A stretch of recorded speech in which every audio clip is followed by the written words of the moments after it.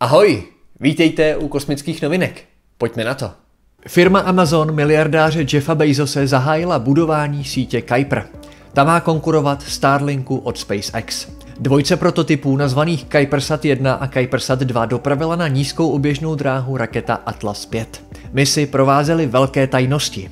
United Launch Alliance ukončila vysílání krátce po startu a Amazon nezveřejnil žádné snímky ani bližší technické specifikace prototypů. Firma jen potvrdila, že se oba aparáty po 18 minutách od startu úspěšně oddělily a jejich testy pomohou s vývojem dalších prototypů. Amazon plánuje na nízkou oběžnou dráhu vypustit 3236 družic. Pohybovat se mají ve výšce 610 km nad povrchem a do projektu chce investovat 10 miliard dolarů.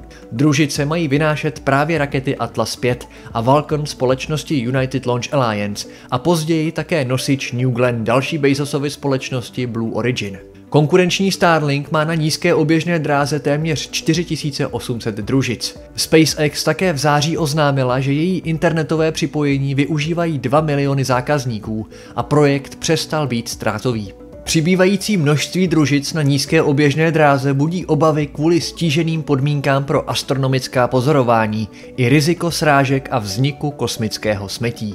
A právě vůbec první pokutu za vznik vesmírného smetí udělila v minulých dnech americká federální komise pro komunikaci. 150 tisíc dolarů musí zaplatit firma Dish, poskytující satelitní televizní signál. Její družice EchoStar 7 od roku 2002 obíhala na geostacionární dráze a po konci životnosti měla být odklizena na vyšší orbitu, kde nebude představovat takové nebezpečí. Kvůli problémům s nedostatkem paliva ale družice požadovaných orbitálních parametrů nedosáhla a skončila zhruba v polovině cesty. Kontroverze vzbuzuje i další družice. Blue Walker 3, Komunikační aparát vynesl v roce 2022 Falcon 9 a po rozvinutí své antény o ploše 64 metrů čtverečních se zařadil mezi nejjasnější objekty noční oblohy. Podle astronomů jeho magnituda dosahuje hodnoty až žádná celá čtyři, což je srovnatelné s hvězdou Procyon, osmou nejjasnější hvězdou na noční obloze. Firma AST Space Mobile chce přitom do vesmíru poslat dalších 90 podobných družic. Společnost Rocket vyzkoušela pevnost nádrží druhého stupně vyvíjené rakety Neutron. Stupeň byl nejdřív natankován na maximální tlak, který Rocket v průběhu letu očekává. Po úspěšném překonání této hranice firma tlak v nádržích dál zvyšovala, až do jejich prasknutí. Chtěla tak zjistit, jak vysoký tlak nádrže ještě zvládnou a která část stupně povolí jako první. Rocket Lab zatím nezveřejnil, při jaké hodnotě tlaku nádrže nakonec praskly. Připravuje už ale další prototypy. Neutron bude poháněn tekutým metanem a kyslíkem. Z bezpečnostních důvodů ale firma Protest zvolila tekutý dusík. Evropská raketa Vega vynesla z kosmodromu ve francouzské Gujáně 12 družic. Vega je vysoká 30 metrů a na nízkou oběžnou dráhu kolem Země dopraví přibližně 1500 kg nákladu. Na palubě byl například tajský snímkovací aparát Theos 2 nebo meteorologická družice Triton.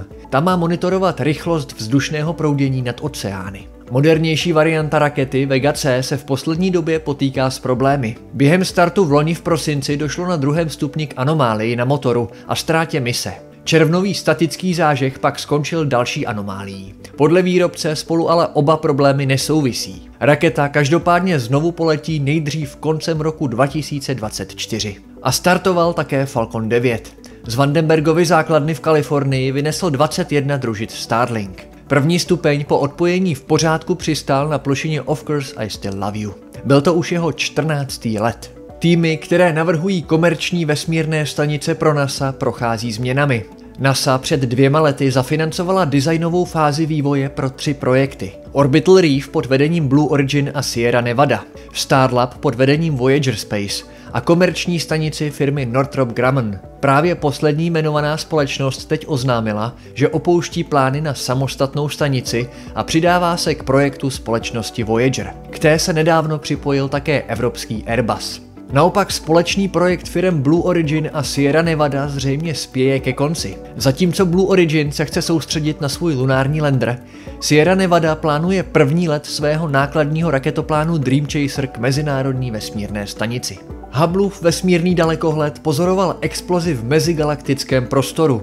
Došlo k ní ve vzdálenosti 3 miliard světelných let od Země a podle astronomů není zcela jasné, co ji způsobilo. Úkaz patří mezi takzvané Fast Blue Optical Transients. Je podobný supernovám nebo zábleskům paprsků gamma. Oproti ním je ale celkem rychlý a koncentrován do modré části viditelného světla. První takový úkaz byl pozorován teprve v roce 2018.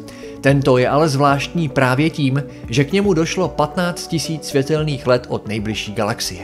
Ve věku 79 let zemřel Oldřich Pelčák. Československý pilot byl takzvaným kosmonautem kandidátem. Společně s Vladimírem Remkem podstoupil výcvik pro let do kosmu a před Remkovým startem v roce 1978 byl členem záložní posádky. Po návratu ze Sovětského svazu působil jako velitel 11. stíhacího pluku v Žadci. Popularizaci kosmonautiky se věnoval i po svém odchodu do důchodu.